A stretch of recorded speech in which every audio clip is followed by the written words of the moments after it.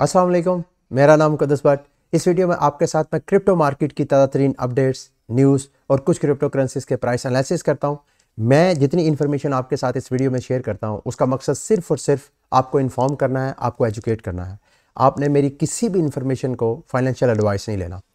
तो कुछ पाकिस्तान के हवाले से, क्रिप्टो मार्केट के हवाले से कुछ डेवलपमेंट्स हुई हैं, बड़ी इंटरेस्टिंग डेवलपमेंट्स हैं, जिसकी आप सब एज अ कम्युनिटी मेंबर इंतज़ार कर रहे थे। मैंने आपको तीन चार दिन पहले एक न्यूज़ शेयर की थी कि इस्लामाबाद में एक ब्लॉकचेन समिट होने जा रही है जिस पे हमारे जो वफाकी वज़ीर साइंस व टेक्नोलॉजी है, शिबली फराज साहब भी स्पीच करेंगे। कल उन्होंने स्पीच की है और बड़ी इंटरेस्टिंग डेवलपमेंट हुई है। उन्होंने कल कुछ बातें की हैं, वो मैं आपके साथ शेयर करना चाहता हूँ। Minister for science and technology Shibli Faraz says the government intent to regularize crypto currency in the country यानी हमारे जो वफाकी वज़ीर हैं, साइंस और टेक्नोलॉजी, उनका कहना यह है कि हुकूमत जो है क्रिप्टो करेंसी को रेगुलेट करना चाहती है। जैसे मैंने आपको कल कहा कि अगर शिबली फराज साहब चाहें तो वो ये भी कह सकते थे कि हम क्रिप्टो करेंसी को बैन करने जा रहे हैं।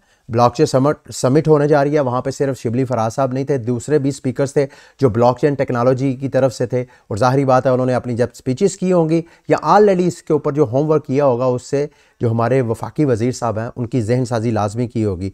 Addressing the first Pakistan blockchain summit Pakistan की ये पहली 2022 की ये समिट हो रही है।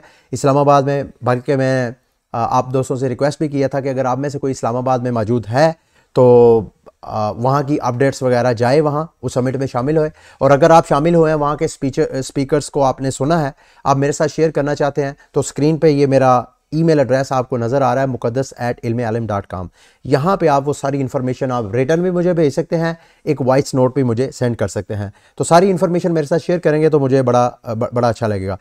अच्छा जी minister said blockchain will become a 20 billion market by 2024 and about 200 countries have somehow incorporated it into their system. तो मुझे नहीं समझ आई, या तो ये जर्नलिस्ट की गलती है, जिसने ये खबर बनाई है, या हमारे जो वफाकी वज़ीर साहब हैं, उनको गलत दादोशुमार दिए गए हैं। क्रिप्टो मार्केट ऑलरेडी 2000 अरब डॉलर की मार्केट ऑलरेडी है। वो 20 बिलियन डॉलर की नहीं है, बल्कि 200 बिलियन, ये ये तो तीन हज़ार अरब डॉलर तक भी चले गई थी। पिछले साल नवंबर में। तो आप, मेरा ख्याल है, या तो जर्नलिस्ट है, ये मिस टाइप हुआ है, वर्ड, ये 200 नहीं उन्होंने कहना था। मेरा ख्याल है 20 ट्रिलियन कहना था 20 बिलियन नहीं कहना था। अच्छा अगर अच्छा 20 ट्रिलियन जा सकती है, ये बिल्कुल जो बात कह रहे हैं ना, बल्कि कई तो ये कह रहे हैं कि आइंदा पाँच सालों में, आइंदा पाँच सालों में, आज दो हज़ार बाईस है, तकरीबन 2027 या 2030 तक, क्रिप्टो मार्केट का जो टोटल कैप है, वो 100 ट्रिलियन होगा। 100 ट्रिलियन दोबारा सुने। इस वक्त जो क्रिप्टो करेंसीज की प्राइसेस आपको ऑल टाइम हाई पे नज़र आ रही हैं, इस वक्त जो मार्केट कैप है, तकरीबन 2000 अरब डॉलर के अबव है। तो उस वक्त जब, ये आइंदा सात आठ सालों के अंदर जो टोटल मार्केट कैप है, वो तीस वन हंड्रेड ट्रिलियन हो जाना क्यों हो जाना है? क्योंकि एक अमेरिका में एक रिसर्च रिपोर्ट पब्लिश हुई है, जिसमें कहा गया है कि ये जो जनरेशन है खसूस सिर्फ़ अमेरिका के जो सर्वे किया गया, उसमें तकरीबन 68 ट्रिलियन जो लोग हैं, उन्होंने अपने सरमाया, जो अपनी वेल्थ है, वो अपनी आने वाली नस्लों को ट्रांसफ़र करनी है। तो जितनी आपको इस वक्त क्रिप्टो मार्केट में बड़े बड़े इन्वेस्टर्स नज़र आ रहे हैं, उनमें ज़्यादातर यंगस्टर लोग हैं। अभी उनके पास सरमाया नहीं है। जब उनके बड़े अपनी विरासत जो है, उनको ट्रांसफ़र करेंगे तो उसका अगर वो पाँच परसेंट भी क्रिप्टो मार्केट के अंदर इन्वेस्ट करते हैं तो मेरे दोस्तों, भाइयों जो क्रिप्टो मार्केट की प्राइसेस हैं, वो आपको लाजमी हाई होती नज़र आएँगी। लेकिन ये ओवर नाइट नहीं है। ये आइंदा सात, आठ, दस साल इसको लग सकते हैं। ठीक है? आगे चलते हैं जी। उसके बाद इन्होंने कहा, वफाकी वज़ीर साहब ने ही said people are turning to crypto currency without proper planning ये बिल्कुल वफाकी वज़ीर साहब की बात सही है कि इस वक्त क्रिप्टो मार्केट के अंदर जो इन्वेस्टमेंट कर रहे हैं, वो सिर्फ़ और सिर्फ़ स्पेकुलेशन की वजह से और दूसरों से इंस्पायर होकर गए यार, मेरे फ़लाँ रिश्तेदार ने, मेरे फ़लाँ दोस्त ने फ़लां जगह इन्वेस्ट किया तो उसको इतना ज़्यादा प्रॉफिट हुआ। तो लोग इस वक्त बगैर समझे, बगैर सोचे, बगैर पढ़े उस, उसमें इन्वेस्टमेंट कर देते हैं और ये भी नहीं देखते कि जहाँ इन्वेस्टमेंट कर रहे हैं, कहीं वो फ्रॉड कंपनी तो नहीं है। तो इस वजह से वाक़ता गवर्नमेंट के ऊपर चूँकि काफ़ी ज़्यादा प्रेशर था एफ़ आई ए में लोग जब एक एक वेबसाइट से उनको स्कैम हो जाता है फ्रॉड हो जाता है तो वो एफ़ आई ए में रिपोर्टिंग करते हैं। और एफ़ आई ए जो है, जो हमारे इदारे हैं, वो आप सबको इस चीज़ का इल्म है। शिबली फराज साहब ने आगे क्या कहा है? Banks can save eight to ten billion rupees annually by using block ये शिबले फराज साहब का कहना यह है कि अगर बैंक्स भी चाहें तो वो अपना सालाना जो है आठ से दस रुपया जो, अरब रुपया जो है वो बचा सकते हैं। ज़ाहरी बात है जो इंटरनेशनल ट्रांजेक्शन हैं, आप, जो हमारा रवायती फाइनेंशियल सिस्टम है, उसमें ट्रांजेक्शन स्पीड एक तो थोड़ा टाइम टेकिंग भी है और दूसरा ट्रांजैक्शन फ़ीस भी काफ़ी ज़्यादा है। तो अगर ब्लॉकचेन टेक्नोलॉजी पे शिफ्ट हो जाए तो ट्रांजैक्शन इंस्टेंट और ट्रांजैक्शन फ़ीस ना होने के बराबर। तो ये बिल्कुल बात सही है। ये एक तरह की होप है हम तमाम जो मेरे देखने वाले हैं कि हुकूमत जो है, अगर वो चाहती तो यहाँ पे इस तरह की कोई स्टेटमेंट आ सकती थी। जो आप इदारों की तरफ़ से स्टेटमेंट देखते हैं, जैसे कि डी जी डी जी थे Sindh F I A cyber crime के, उनकी स्टेटमेंट थी कि जी हम पीटीए को रिक्वेस्ट भेजेंगे कि वो जितने एक्सचेंजेस हैं क्रिप्टो एक्सचेंजेस उनको बैन कर दें पाकिस्तान में। मेरा नहीं ख्याल ऐसे होगा। अगर होगा तो ये बहुत बड़ा सेटबैक होगा हुकूमत के लिए भी और हमारी कम्युनिटी के लिए भी।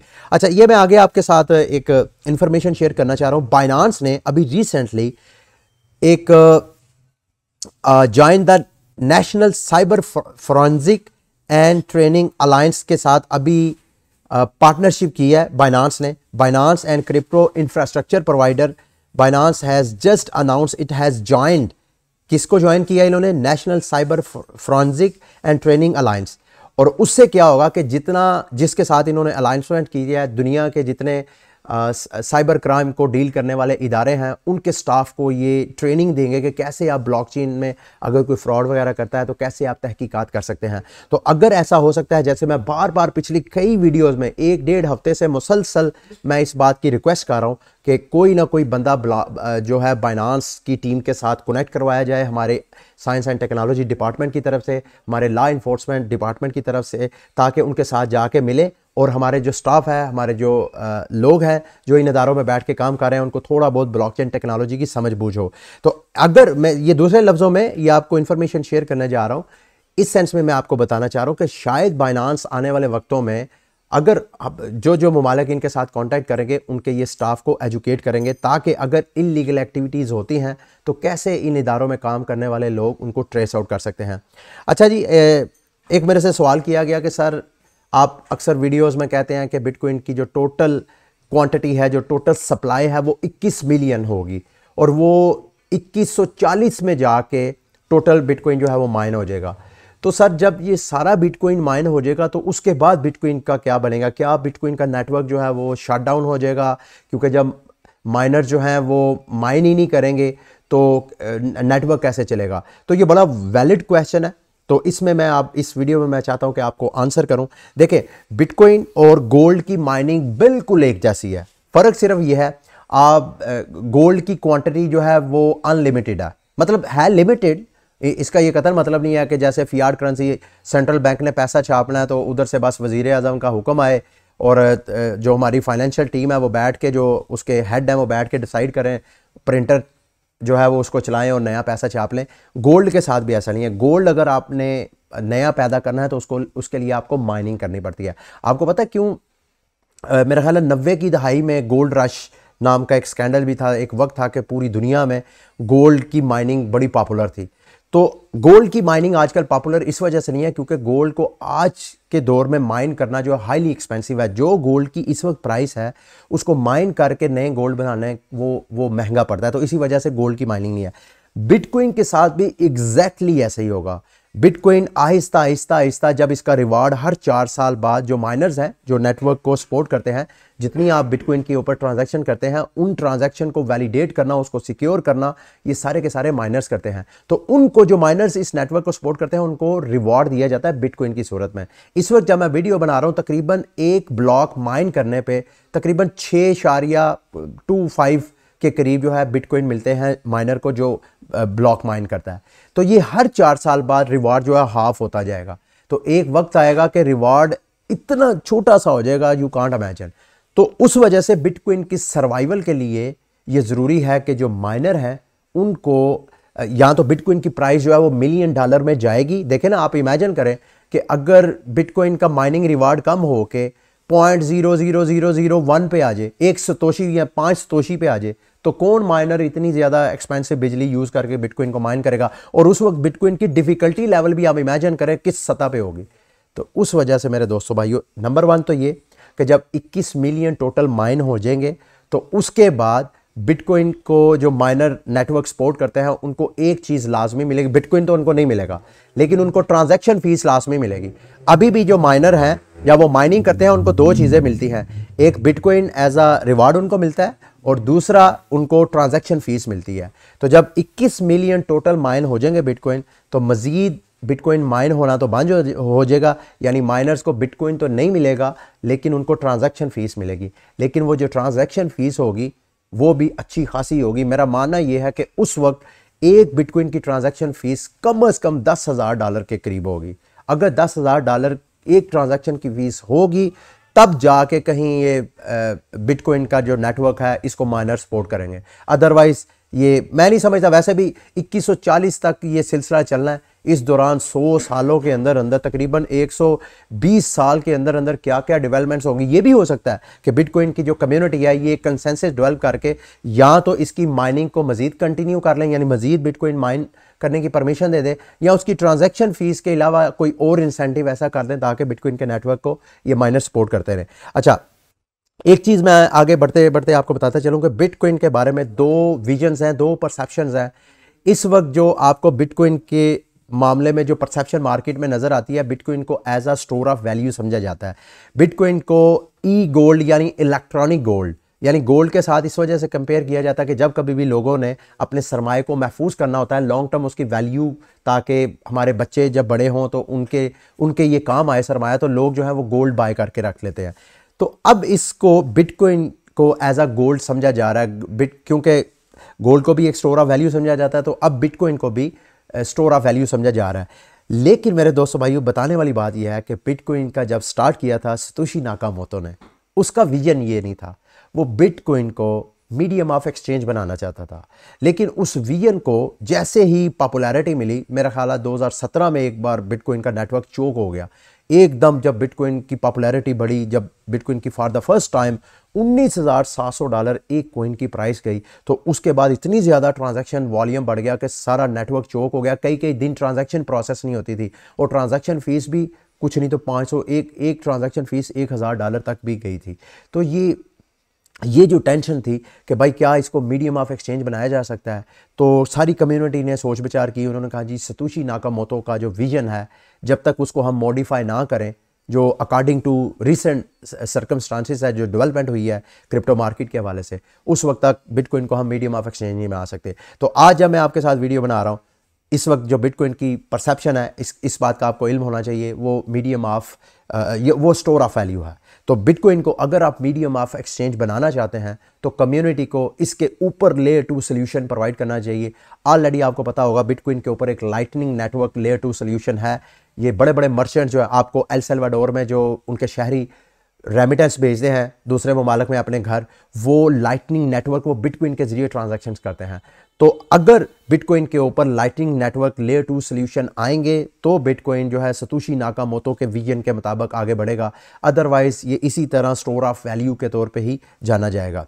आगे बढ़ते हैं जी, ये ओके एक्सचेंज ने अपना प्लेटफॉर्म चेंज कर लिया है, अपना ब्रांड नेम चेंज किया है। पहले ओके ई एक्स था, अब ओके एक्स हो गया तो कुछ लोग जो है वो परेशान हो गए हैं कि शायद ओके एक्सचेंज की वेबसाइट हैक हो गई है, हैक नहीं हुई। उन्होंने अपने सारे लेआउट को, अपने सारे ग्राफिक्स को चेंज किया है, उन्होंने अपने लोगों को चेंज किया है। तो आप इस हवाले से परेशान ना हो। आप जो आपके लॉगिन वगैरह ओके एक्सचेंज के वॉलेट में थे, सेम टू सेम इधर आप लॉगिन करेंगे तो आपके फंड्स भी आपको एक्सेस मिल जाएँगे। ये एल सेल्वाडोर के प्रेसिडेंट हैं जी नायब बकूले। इन्होंने कहा है, शुड आए ऑरेंज पिल ऑरेंज पिल की जब कभी भी आप सोशल मीडिया पे खबर सुने तो इसका मतलब यह है कि बिटकॉइन तो नए बकूले साहब अपनी अपने फॉलोअर से पूछना चाह रहे हैं कि क्या मुझे इस वक्त जब बिटकॉइन की प्राइस जो है दोबारा इकतालीस बतालीस हज़ार डॉलर पे ट्रेड हो रही है तो क्या मुझे बिटकॉइन बाय करना चाहिए या नहीं? आप भी अगर चाहें तो इनको एक तो फॉलो करें और अपनी ओपिनियन का इजहार कर सकते हैं। अच्छा ये आ, आगे बढ़ने बढ़ता हूँ मैं ये B N B heroes token है। सडनली उसकी प्राइस जो है टोकन की ये गेम थी। B N B heroes token उसकी प्राइस जो है एकदम 71 परसेंट क्रैश कर गई। हुआ क्या कि उनके जो डेवलपर्स हैं उन्होंने रग पुल किया ये मैं इस वजह से आपको कह रहा हूँ कि अगर आपने कहीं भी क्रिप्टो मार्केट के अंदर इन्वेस्टमेंट करनी है, हमेशा अपने रिस्क मैनेजमेंट को माइंड में रख के आपने फिर इन्वेस्टमेंट करनी है। वो इन्वेस्टमेंट करनी है जो आपके गुम हो जाने लॉस हो जाने से आपकी ज़िंदगी में कोई परेशानी ना आए, कोई प्रॉब्लम ना आए। ठीक है? इसके अलावा मैं और आपके साथ, ये पिछले दिनों मैंने आपके साथ न्यूज़ शेयर की थी कि बाइनास ने मल्टी चेन में फंड रेजिंग किया बाइनास लैब ने। मल्टी चेन में अभी 1.4 मिलियन के ईथर जो है, वो स्कैम हुए हैं फ्रॉड हुए हैं। उन्होंने एक छोटी मोटी बग अपने ब्लॉकचेन में देखा और अपने यूज़र्स को फ़ौरन अपने जो अप्रूवल वगैरह मांगी कि भाई अपने आपको अपग्रेड कर लें। जिन जिन लोगों ने बेचारों ने नहीं किया था उन सब के वॉलेट से कलेक्टिवली एक, 1.4 मिलियन वर्थ के इथीरियम जो है वो स्कैम हो गया जो हैकर ने हैक कर लिया ठीक है? तो मतलब दूसरे लफ्ज़ों में मैं आपको कह रहा हूँ कि अगर आपने इन्वेस्टमेंट की है तो आपको विजिलेंट रहना चाहिए हमेशा आँखें खोलना चाहिए कान को खुले रखना चाहिए जहाँ कहीं आपको क्रिप्टो करेंसी के हवाले से इंफॉर्मेशन मिले खसूस सिक्योरिटी के हवाले से आपके फंड्स की तो आपको लाजमी उस, उसको जो है वो फॉलो करना चाहिए। अच्छा जी बहुत से लोग परेशान हैं कि सर हमारे बाइनास में बीटीटी पड़े हुए थे वो टोकन तो वहीं के वहीं हैं लेकिन उनकी वैल्यू बिल्कुल ज़ीरो हो गई है। तो आप लोगों को परेशान होने की ज़रूरत नहीं है। मैंने चंद दिन पहले आपको बताया था कि बी ने अपनी डी नोमिनेशन की है यानी अब उनका जो टोकन है वो भी चेंज हो गया। अब वो बी नहीं है बल्कि बी है। तो जिसके पास एक BTT था, अब वो उन, उसको बी टी एक हज़ार बी सी मिलेगा। अब अगर आपके पास जितने भी हैं, उसको आप एक हज़ार के साथ मल्टीप्लाई करें तो वह उतने गुना आपको B T C B T T C मिलेंगे। पीछे मार्केट कैप उतना ही है, आपकी वर्थ उतनी ही होगी डॉलर की ज़रूरत में, लेकिन सिर्फ़ आपको टोकन ज़्यादा मिल गए अच्छा अब आपके वो शो नहीं हो रहे तो वो इस वजह से नहीं हो रहे, तकरीबन मेरा ख्याल है जो नए B T T C token आपको शो होंगे वो मेरा ख्याल है बाईस तेईस तारीख को जाके शो होंगे क्योंकि अभी बाइनांस ने माइग्रेट नहीं किया। बाइनांस अपने सारे फंड्स को, सारे जितना उनके पास बी टी टी में पड़ा हुआ था फंड जब वो माइग्रेट कर लेगा बी टी टी सी की तरफ़ तो जो आपके वॉलेट्स में इस वक्त बी टी टी है, वो बी टी टी सी में कन्वर्ट हो जाएगा, डी रीडोमिनेशन के बाद, ठीक है? तो आप लोग परेशान ना हो। आगे बढ़े जी, ये मैंने कू कोइन के ऊपर आप लोगों को इन्फॉर्म किया था। कि आप लोग गैरी टोकन में अगर पार्टिसिपेट करना चाहते हैं तो आप लाजमी करें। अब मैंने 50 डॉलर के तकरीबन बाय किए थे तो 50 डॉलर के इस वक्त अगर मैं ट्रेड करूँ तो तकरीबन वो 160 डॉलर के करीब बनते हैं। आ, मेरा इस वक्त लॉगिन नहीं है। तो जिस जिस बंदे ने मेरा ख्याल है उस वीडियो को फॉलो किया होगा कुछ नहीं तो उसको थ्री टाइम प्रॉफिट हुआ होगा लाजमी। ठीक है? आ, ये लास्ट में ये मैं आपके साथ एक बच्चे की स्टोरी शेयर करना चाहता हूँ। ये इंडोनेशिया का एक बच्चा था गजाली गजालू के नाम से। इसने क्या किया कि अक्सर आपने कमर्शियल वगैरह सोशल मीडिया पे वीडियोस देखते हैं कि पहले बंदा जो है, जब वो फॉर एग्जांपल को मोटा है तो उसने पतला होना होता है तो वो अपना पूरे टाइमलाइन जो है, उस सारे एक्सपीरियंस को वो रिकॉर्ड करता जाता है। उससे इंस्पायर होकर इस बच्चे ने क्या क्या क्या किया, जब ये अठारह साल का था तो अठारह साल से तकरीबन पाँच साल बिला नागा रोज रोज अपनी एक सेल्फी लेता था। अब वो पाँच साल, यानी पाँच साल मुसलसल, एक दिन भी इसने नागा नहीं किया। रोज अपनी सेल्फियों की इसने एनएफटी बनाई ओपन सी पे लिस्टिंग किया। तो अब ये बच्चा जो है मिलियन डॉलर 1.2 मिलियन इस वक्त तक कमा चुका है, जब मैं आपके साथ वीडियो बना रहा हूँ। और अभी भी ओपन सी के ऊपर ये मोस्ट ट्रेंडिंग इसकी एन है। इसकी एन कुछ भी नहीं है, सिर्फ़ इसकी पिक्चर्स हैं। जो इसने पाँच साल तक मुसलसल रोज़ सेल्फियाँ ली हैं। ये कभी वो बार में जाके वहाँ पे जूस पी रहा है तो उसकी पिक्चर ली है, कहीं कहीं वॉशरूम है तो शीशे के सामने खड़े हुए। तो मैं आपको बताना, ये चाह रहा हूँ, ये क्रिप्टो मार्केट आपको सरप्राइज़ कर सकती है। सिर्फ़ you have to be creative आपको इस मार्केट के अंदर सिर्फ़ पैसा कमाने का गुर आना चाहिए। तो ये बच्चे ने कैसे 18 साल की एज का था तो इस, इसके माइंड में एकदम आइडिया आया। पाँच साल से मुसलसल अपनी सेल्फियाँ लेके उसको सेव करता जा रहा था। जब ये एनएफटी का एकदम ट्रेंड बना तो इसने अपनी सारी कलेक्शन को एनएफटी में बना के तो अब वो मिलियन डॉलर जो है वो अर्न कर रहा है। ठीक है लास्ट में मैं आपके कुछ क्वेश्चन वगैरह लेता हूँ तो आज के बुलेटिन को ख़त्म करते हैं। क्वेश्चन है जी, सर, ये कि आप वीडियो बना दें मेटामास ट्रस्ट वॉलेट की सेफ्टी के बारे में। देखें मेटामास की और जितने आपके नॉन कस्टोडियन वॉलेट्स हैं, यानी जो आपके पर्सनल वॉलेट हैं, उन वॉलेट की सिक्योरिटी सिर्फ़ यही है कि आपने सीड फ्रेजेस किसी के साथ शेयर नहीं करना है। जिसके साथ आप प्राइवेट अपनी की या आपके सीड फ्रेजेस शेयर करेंगे वॉलेट का ऑनर वो है। और दूसरे नंबर पे अक्सर आप जो हैकर्स हैं, आप लोगों को जब कभी आप टेलीग्राम ग्रुप पे किसी स्पोर्ट वगैरह लेने की तरफ़ जाते हैं तो हैकर आपको फेक अकाउंट बना के कि हम वो फलां कंपनी की सपोर्ट हैं, आपसे वो एक्सेस वगैरह ले लेते हैं। आपने किसी के साथ ये शेयर नहीं करना। और दूसरा, ये बाइनांस की तो सिक्योरिटी ये बिल्कुल सही है। देखें बाइनांस पे आपकी सिक्योर फंड्स आपके बाइनांस के पास हैं, ये बिल्कुल बात सही है। लेकिन बाइनांस की सिक्योरिटी बहुत टाइट है। आपने जब फंड ट्रांसफ़र करने हैं तो मोबाइल वेरिफिकेशन आपको एसएमएस वेरिफिकेशन आपको गूगल अथेंटिकेटर की वेरिफिकेशन आपको ईमेल वेरिफिकेशन इतनी किस्म की वेरिफिकेशन है। लेकिन अगर आपके ट्रस्ट वॉलेट मेटामास में है तो वहाँ पे कोई वेरिफिकेशन नहीं है। तो आपने बड़ा सिक्योर कभी ये जो एयर ड्राप है ना, अंधाधुंध आपने एयर ड्राप के लालच में आकर ये हैकर आपको एयर ड्रॉप के लालच में भी लिंक्स के ऊपर क्लिक करवाते हैं। जब आप क्लिक करते हैं तो आपके वॉलेट्स को वो हैक कर लेते हैं। ना आपने एयर ड्रॉप के चक्कर में आना है, ना किसी, इसी बंदे, कोई बंदा आपको खुद अप्रोच करे कि मैं आपको ये प्रॉब्लम है, मैं आपको सोल्यूशन देता हूँ। आपने उसको कभी अपने ना यूज़र नेम ना पासवर्ड ना अपने सीड फ्रेजेस कोई इन्फॉर्मेशन आपने शेयर नहीं करनी है। अच्छा सर, ये ब्लॉकचेन जितनी भी है, इसका डाटा की स्टोरेज कहाँ होती है? ब्लॉकचेन जो है ब्लॉकचेन के ऊपर होती है। जो माइनर्स होते हैं या जो प्रूफ ऑफ़ स्टेक बेस्ड जो डेलीगेटर्स होते हैं वैलिडेटर्स होते हैं सॉरी उनके पास होता है और किसी एक बंदे के पास नहीं है।